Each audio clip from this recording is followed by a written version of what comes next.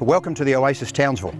This is a facility that we've had built here in Townsville in the village in Oonoonba in Townsville as a home base for veterans.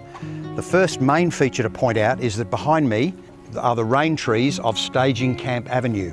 This area during the Second World War used to be the home of the 13th Australian Army Personnel Staging Camp and the staging camp was where every soldier who served in, in Papua New Guinea came back to Australia and was as discharged from the military into the civilian street.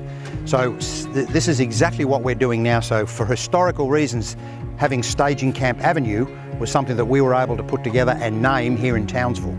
What I want to do quickly now is take you for a quick walk around some of the facilities we've got here. So the first thing you'll notice is the coffee shop. The coffee shop is central to connections and having people enable them to get together and talk over a coffee, really important to the Oasis.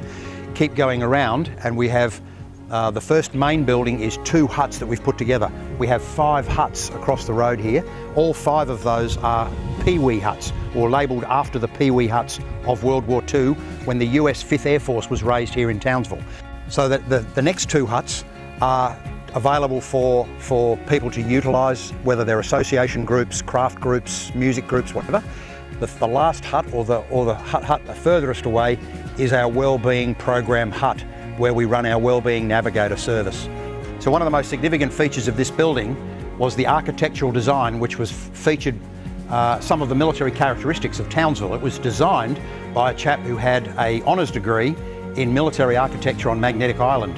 Some of that features that he's built into this design include the Pee-wee huts behind me, which from the US Air Force was designed, or the centrepiece here, which is modelled on one of the gun emplacements on Magnetic Island, which is where the guns were fired from against the enemy in the First and the Second World Wars.